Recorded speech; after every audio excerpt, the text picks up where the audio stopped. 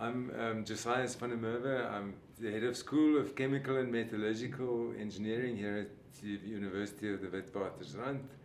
Um, we're part of the five schools at, at the Faculty of Engineering, um, and we're doing we're looking at metallurgy with the physical metallurgy and extractive metallurgy.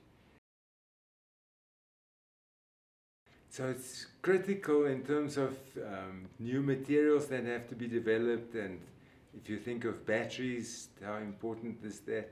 But also for us as a country, it's very important for us to take out the minerals from the um, ore and then to then develop metals and the metals into alloys and components.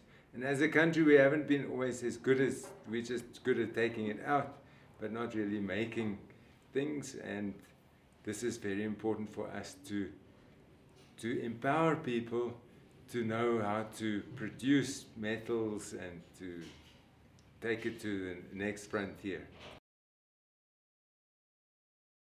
So it's, we're at the, one of the top universities in Africa, um, normally maybe second or first rated. Um, and so it's really a top choice for students to come. We, we got wonderful um, academics that can put back into the um, learner students' um, education. And so we, and because of our diversity, so we've both the School of Chemical and Metallurgical Engineering. So and I feel both of those streams complement one another and they learn from one another and so it's a, a very good combination for, for students.